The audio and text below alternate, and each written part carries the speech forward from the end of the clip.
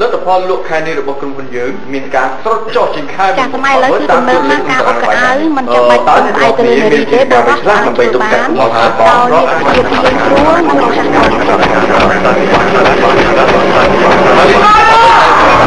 បានឆ្នាំពុទ្ធនេះគឺស្គាល់គ្រប់ឡូលីប្រាំងឱសថគុណភាពខ្ពស់មកពីប្រទេសបារាំងសម្រាប់បំបត្តិការឈឺចាប់និងគ្រុនក្តៅឡូលីប្រាំងឱសថផលិតនិងនិយមប្រើនៅប្រទេសបារាំងមានប្រសិទ្ធភាពខ្ពស់ណែនាំដោយវិជ្ជបណ្ឌិត